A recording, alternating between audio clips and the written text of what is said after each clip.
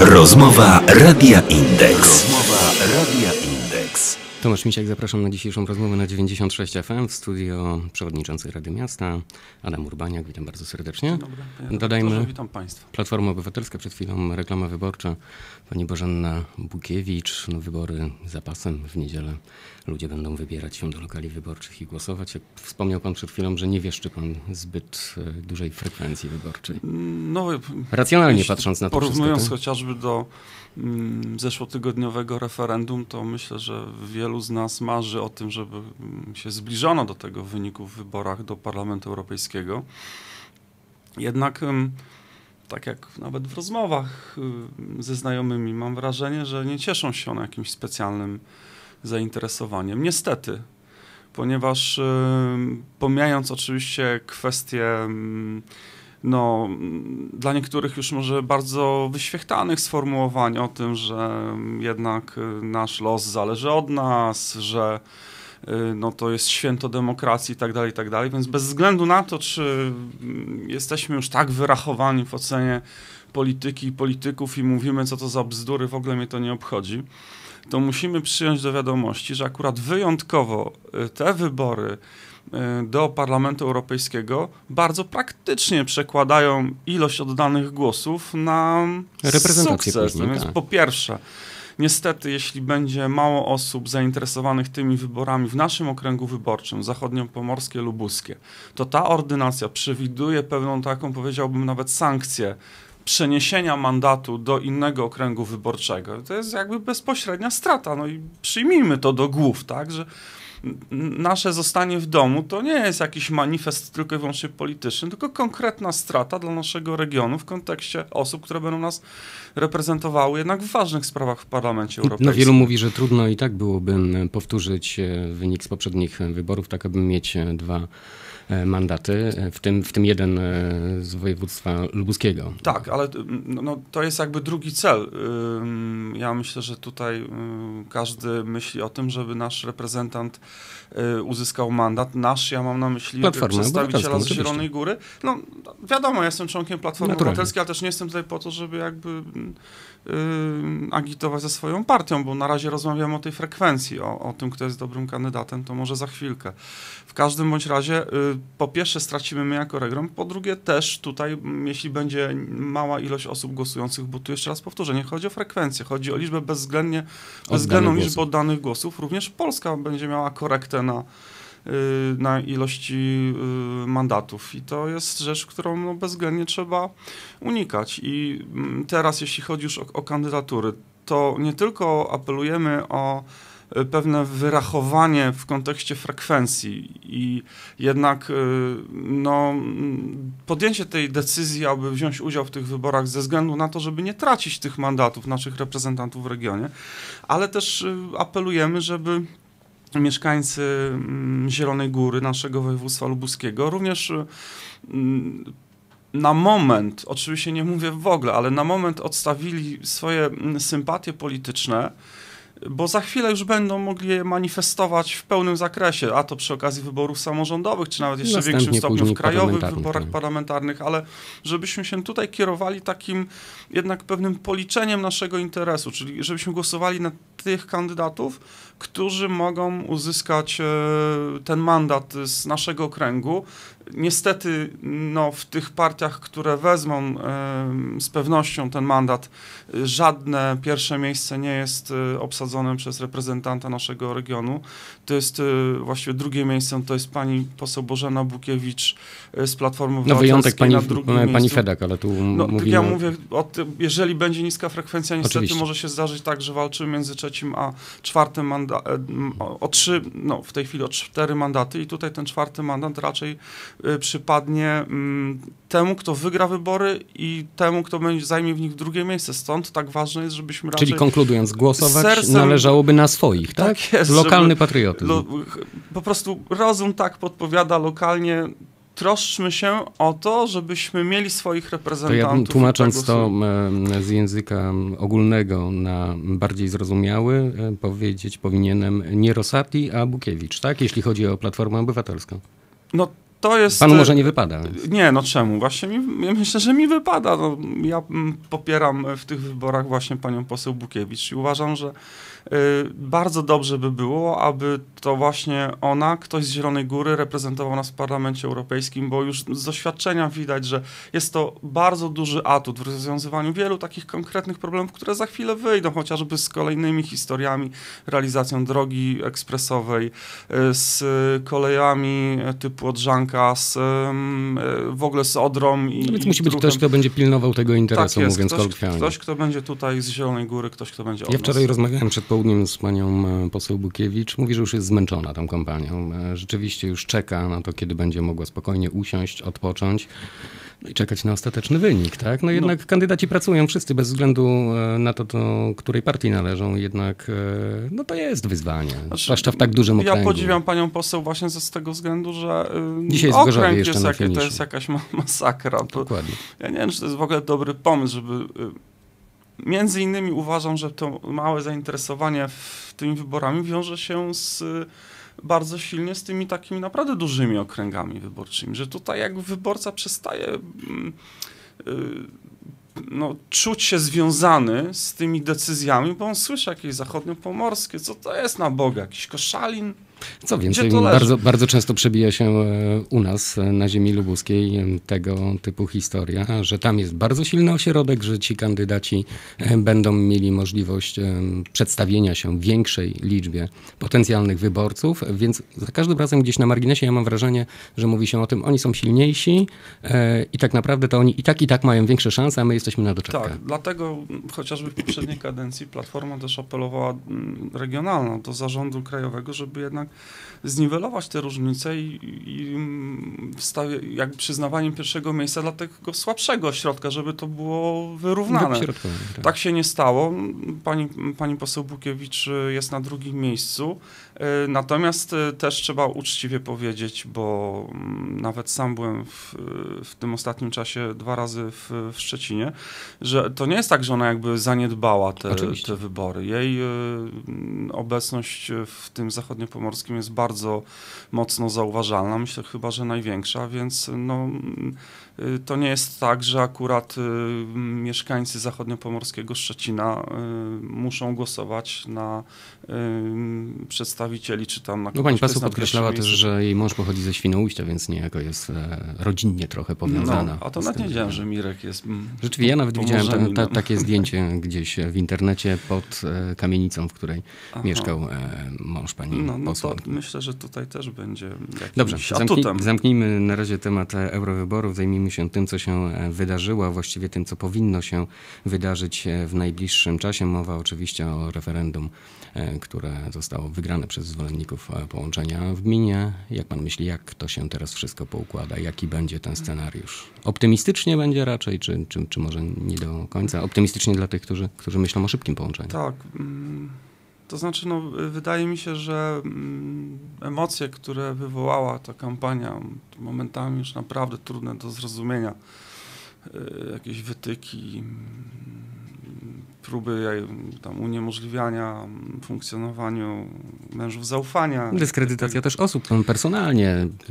To no tak więc te emocje mm, wydaje się niestety, tak staram się na to patrzeć obiektywnie, wydaje mi się, że one już poszły tak daleko, że można oczekiwać prób jakiegoś, no nie wiem, kwestionowania, podważania tego wyniku, bo pamiętajmy, że o po kolei o bonusie decyduje zgodne połączenie. Stąd co więcej, ten bonus może być większy o 10%. Miast, tak, tak. Miasto nie interesowało mm, jakby składanie wniosków wbrew gminie. To był raczej plan B. E, chodziło głównie o to, żeby jednak mieszkańców do tego połączenia e, przekonać. Natomiast to zgodne połączenie będzie wtedy, kiedy to Rada Gminy wyda pozytywną opinię. Referendum jest tylko pewnym krokiem do tego celu. I teraz e, mamy nadzieję, że Rada Gminy będzie mm, tutaj no, mm, przestrzegała prawa. Artykuł 65 ustawy o referendum lokalnym wyraźnie stanowi, organ, którego referendum dotyczyło, ma niezwłocznie jakby skonsumować wyniki tego referendum, więc jeśli się czyta mm, przepisy i zakłada racjonalność postępowania, to, to należy oczekiwać w niedługim czasie tak. takiej właśnie uchwały Rady Gminy. Mam nadzieję, że tak się stanie. Mam nadzieję, że nie grzeszę zbytnim optymizmem, co powoduje, że myślę, że warto spróbować e, pomimo tego, że ten termin przepadł, bo podczas jednej ze swoich wcześniejszych wizyt e, u pana redaktora tu w radio mówiłem, że mm, ten deadline to był do końca marca. E, I no, mówiłem też, że szkoda, to powiedzmy w tym sensie nie chciałbym jakoś się specjalnie tutaj mówić, a nie mówiłem, ale jednak powiem, że warto chyba było ten wniosek złożyć o to połączenie, nie mając jeszcze tych opinii i ewentualnie je uzupełniając, bo zawsze można wycofać wniosek, jeśli by, by coś poszło to jest nie tak. rozwiązanie, aczkolwiek no, Yy, pewnie natomiast- wielu myślało, że a jednak niekoniecznie musi się udać. Tak. Może też chodziło o to, żeby powiedzmy nie być zbyt takim pewnym siebie, chociaż z perspektywy wydaje mi się, że to byłaby dobra decyzja. Natomiast nie jest nic straconego. Przepis ustawy, tak nawet rozmawialiśmy na spotkaniu pana prezydenta, brzmi, że wniosek się składa do 31 marca. Więc y, każdy wniosek złożony w październiku, w czerwcu, Jest w maju jest wnioskiem 30 złożonym do- przed tak. 31 Naturalnie. marca, bo zawsze się jest przed 31 marca. A nawet wczoraj podczas spotkania mm, z premierem Tuskiem pan prezydent poruszył kwestię tego właśnie ewentualnego rozpatrzenia wniosku, bo przypomnijmy słuchaczom o połączeniu decyduje Rada Ministrów. No wiadomo kto, tak? No w tym Prezes momencie Rady nie, nie, ma absolutnie żadnej Co wątpliwości, kto zresztą decyduje. pan premier podczas spotkania zasugerował, że myśli, iż jednak pozostali członkowie Rady Ministrów będą liczyli się z jego opinią w tym Ja względzie. nie wyobrażam sobie no, innego wariantu, aczkolwiek to moje I wyobrażenie. pan, pan premier powie, powiedział, właśnie przypomniał też mm, przepisy, m, że y, tym Rada Ministrów zajmuje się w lipcu. No więc jesteśmy przed lipcem i może warto spróbować, mając na względzie wyjątkowo pionierski charakter tego procesu, e, jednak e, ten wniosek złożyć jak najszybciej i zobaczyć, a nuż e, będzie możliwe to połączenie z 1 stycznia 2015 roku, co byłoby rozwiązaniem bardzo dobrym, ponieważ w przeciwnym razie będziemy musieli odbyć wybory no powiedzmy te ogólne, czyli listopadowe, następnie po decyzji o połączeniu Skrócić po roku, kadencję, znowu zrobił- po roku. Obawiam się, że wielu odejdzie ochota na połączenia. To jest ostatnia rzecz, jaką byśmy sobie teraz życzyli. No tym bardziej, że będzie to absolutnie zamrożony proces i ludzie być może będą słyszeli sobie o różnego rodzaju informacjach, być może nawet będą widzieli, jeśli e, Rada Miasta Zielona Góra znowu zdecyduje o tym, aby jakieś pieniądze były przeznaczone już na inwestycje na tych terenach e, gminnych. Natomiast no, różnie to się może potoczyć. No, tak czy siak my mm, wychodzimy z założenia, że nie ma co odpuszczać. Kto nie ryzykuje, nie pije szampana. Y, I y, należy jak najszybciej składać ten wniosek, ponieważ przepis y, ustawy wymaga, aby opinia Rady i wniosek przez Radę Miasta był podejmowany po przeprowadzeniu konsultacji. Już na tej sesji we wtorek chcemy przyjąć uchwałę o wszczęciu trybu konsultacyjnego. Zobaczymy, jak się pozostali radni do tego odniosą. Myślę, Natomiast że nie uważam, będzie że tu problemu. nie ma ym, czasu ym, na referendum i moim zdaniem nie ma też sensu i tutaj ja mówiłem o tym od początku konsekwentnie, że wydawanie publicznych pieniędzy dla potwierdzenia oczywistej oczywistości, czyli tego, że mieszkańcy Zielonej Góry Mija są generalnie za połączeniem, oczywiście są wyjątki, ale mm, wynik tych konsultacji, wynik tego referendum jest dla mnie oczywisty. Po prostu jest to superfluum zupełnie niepotrzebne, dlatego nie rozumiem antagonistów, którzy twierdzą, że ma być referendum w Zielonej Górze. Ja nikomu, co ma być w gminie, nie mówiłem. Mogli robić konsultacje, mogli robić referendum. To jest sprawa tego niezależnego, samodzielnego y, samorządu.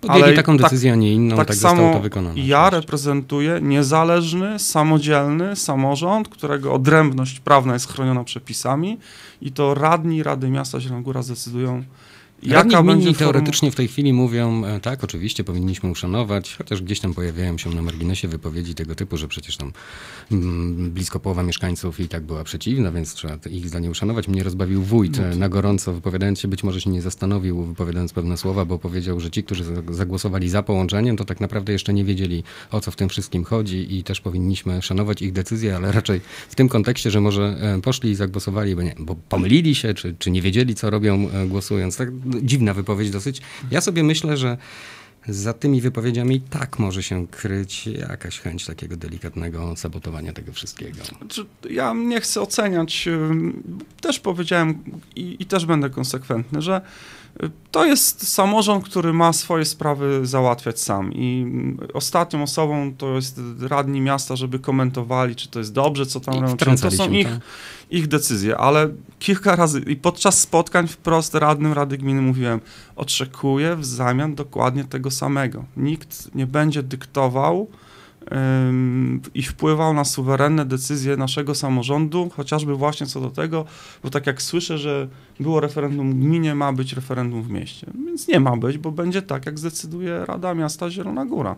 Czyli najprawdopodobniej będą to konsultacje, no więcej dowiemy się w tym temacie, czy w 100% będą to konsultacje już e, w najbliższy wtorek. Na sam tak koniec jest. jeszcze kilka słów na temat e, wczorajszej wizyty premiera. Taka dość niespodziewana e, wizyta, no ale chyba wszyscy ci, którzy mieli okazję spotkać się z premierem, raczej wychodzili z tego spotkania zadowoleni mimo tego poślizgu czasowego i tak dalej, no to, to, to jest jasne, no premier, premier przemieszcza się. No właśnie, to sytuacja jest zawsze dynamiczna, natomiast y, owszem było to spotkanie organizowane ad hoc, ale było zorganizowane naprawdę bardzo, bardzo ciekawe. Organizowała właśnie pani poseł Bukiewicz przy wsparciu pani marszałek Polak, y, więc ta formuła była taka, która mnie zaskoczyła, ponieważ no, z reguły to wiadomo, przyjeżdża polityk, zbiera się aula, polityk przychodzi, opowiada, Coś powiem, wszyscy są brawa, słuchają dziękujemy, i dziękuję.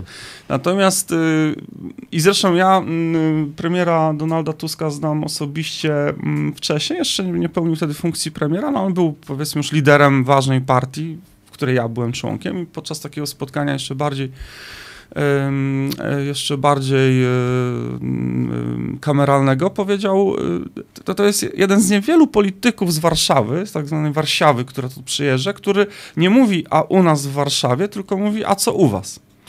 I to było, to spotkanie zostało właśnie tak ustawione, gdzie nawet kształt krzeseł to było po prostu w kręgu ustawione, te miejsca do, do siedzenia, że właściwie nie było my, oni. I y, to nie było jakieś tyrady oratorskie pana premiera, tylko po prostu ktoś, kto y, miał taką potrzebę, y, przedstawiał problemy. Pewne kwestie tutaj właśnie pan, pan prezydent Janusz Kubicki prosił o rozważenie tej szybkiej ścieżki w związku z połączeniem. Pan Wadym Tiszkiewicz wspominał o kwestiach wydobycia miedzi pod Legnicą, ale też co ciekawe i to jest chyba takie typowe dla naszego regionu, dla, dla Lubuszan, nie było tam no, tego takiego płaczu i utyskiwania, bo to się też często zdarza, prawda, że jak żyć, panie premierze, pada hasło. I... No, premier też chyba wiedział doskonale, gdzie jedzie i zdawał sobie sprawę z tego, że na finiszu kampanii ale... niepotrzebna mu wizyta w takim miejscu, na przykład na Podkarpaciu, tak, znaczy, gdzie no, no tak, w bastionie ale... Prawa i Sprawiedliwości. Czy, czy to jest kłopot, tak można no, powiedzieć. No, jeżeli my w naszym regionie naprawdę mamy prawo mieć powody do pewnej satysfakcji z tytułu realizowanych przy udziale środków y, unijnych inwestycji, no to mm, też ja, ja, nawet nie chodzi mi o to, że mam dbać o pana premiera, żeby on to jakąś terapię odbywał, tak, że on ma się dobrze poczuć. Ja tylko jakby komentuję obiektywnie, że sporo wypowiedzi, znaczna część to było po prostu jakieś słowa podziękowania, próba y, y, pochwalenia się. Y, panie z Uniwersytetu Trzeciego Wieku przy tej okazji prosiła autograf, bo chwilę wcześniej mieli spotkanie w Warszawie z panem premierem. Pan premier y, oczywiście chętnie podpisał, aczkolwiek twierdził, że przy użyciu Photoshopa były retuszowane te zdjęcia. Na koniec miał również wystąpienie trener Rafał Dobrucki, który y, jakby oczekiwał wsparcia y, Falubazu jako kibica przez pana premiera. No i tutaj, prawda, pan premier powiedział, że owszem, nie ma problemu, ale żebyśmy przyjęli, że jak będzie w Toruniu bądź u siebie w Gdańsku, no to musi trochę pościemniać, bo, bo w końcu, w końcu jak to skomentował no panie trenerze, przecież ja też mam swoją drużynę. Już myślałem, że jeszcze chętniej będę kibicował Farbazowi, kiedy KSF znajdzie się w pierwszej lidze, czy w Ekstraklasie nożnej. Wtedy, już pewnie będą w stanie no. to robić e, Dziękuję panie przewodniczący za dzisiejszą wizytę e, w studio. Adam Urbaniak, przewodniczący Dziękuję bardzo panie doktorze, dziękuję państwu za uwagę. Rozmowa Radia Indeks. Od poniedziałku do piątku o 9.30.